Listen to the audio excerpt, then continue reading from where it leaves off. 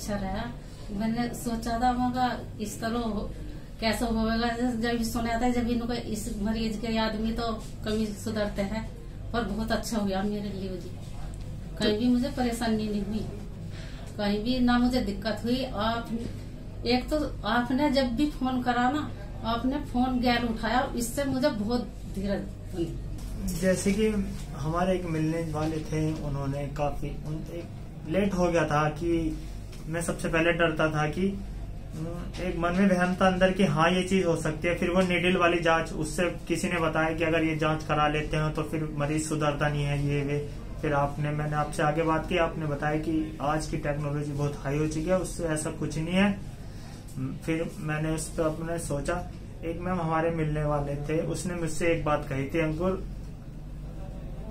कि देख तेरे मन में जो भी हो उसको मैम से अपने किसी भी डॉक्टर को बताया उनसे सब राय साफ़ साफ़ ले लेना।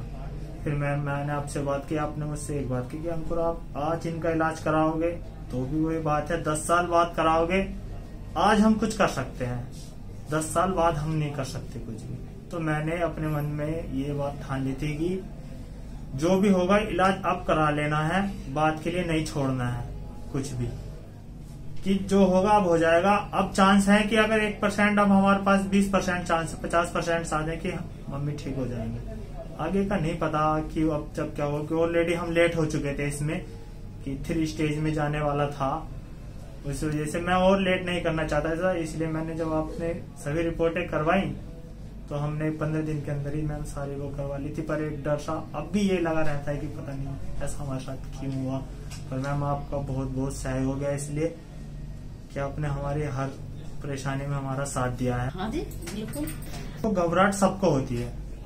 मैं ये नहीं कहता कि घबराहट नहीं मैम घबराहट सबको होती है। बस एक पेशेंस थोड़ा सा हो कि उस घबराहट को जितना भी उस घबराहट से अपना पॉजिटिव माइंड की हाँ ठीक हो जाएँगे।